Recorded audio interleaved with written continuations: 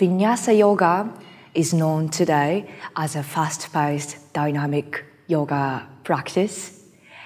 And there is a deeper meaning to it. When we look at the Sanskrit word vinyasa, vinyasa, it literally means linking of the breath with the movement. Our breath is connecting with the flow of movement continuously. This is called vinyasa. And so it's important to be in the flow and how to be in the flow. And here, the breath is the key. Pattabhi Jois, the founder of Ashtanga Vinyasa Yoga, he's also known as Guruji, he used to say that our practice is like a yoga mala. And I have a yoga mala today here. And not in the Hatha Yoga practice, more of the in the Bhakti Yoga practice or in Mantra Yoga practice. We often use this tool called mala. Mala means prayer bead or the garland. It's usually made up with a certain numbers of the beat to count the prayer to the divine. And each beads are strung together with one single string from the beginning. There is a knot in each between each breath and come all the way. And so it's one strings. If the mala breaks, then you have to make it again from zero. So this is mala.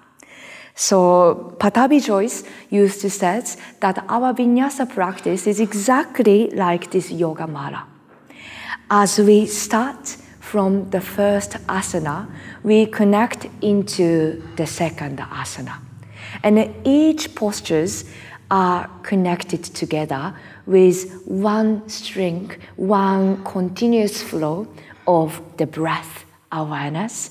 And just like a prayer bead, just like a mala, every asana is an offering to the higher self, offering to the divine. With this attitude, with this heartful understanding, we have a potential to make our practice more sacred, make our practice more spiritual, rather than just doing a fast paced, vigorous, sweaty, dynamic practice. That is absolutely wonderful. But at the same time, we are remembering in the depths of our heart that each asana is a prayer. And then there is always awareness of the breath.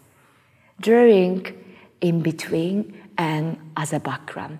Just like this invisible string inside of the beads in the mala, it's not that obvious as the asana itself. Yeah, it is constantly there as the invisible string.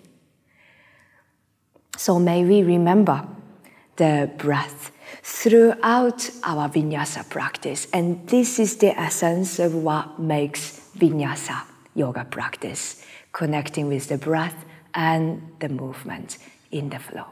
99% practice, 1% theory. See you on the yoga mat for practice.